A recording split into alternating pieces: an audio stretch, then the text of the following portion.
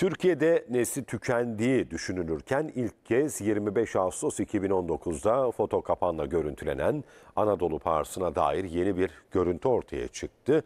Görüntünün Ege bölgesinin iç kesimlerinde çekildiği belirtilirken tam bölgesi açıklanmadı. Görüntüde Pars'ın yeni bir bölgede kayalık ve ağaçlık alanda tek başına yürüyüşü yer alıyor.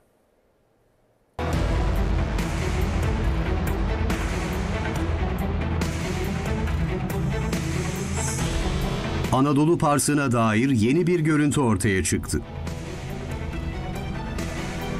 Türkiye'de 1975 yılına kadar dağılım gösterdiği bilinen Anadolu Parsı'nın nesli tükendiği düşünülüyordu.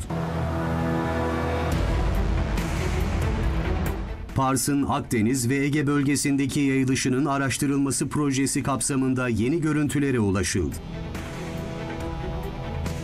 Gece kameraları ile elde edilen yaklaşık bir dakikalık videoda Anadolu Parsı olduğu değerlendirilen hayvanın dağlık, kayalık ve ağaçlıklı alanda tek başına yürüyüşü yer alıyor.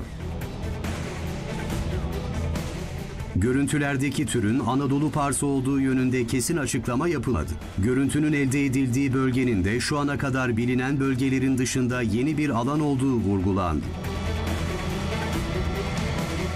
Anadolu Parsı ilk kez 25 Ağustos 2019'da foto kapanla görüntülenmişti. Öte yandan Anadolu Parsı'na zarar verenlere 30 milyon lira tazminat ve 2 yıldan 5 yıla kadar hapis cezası uygulanıyor.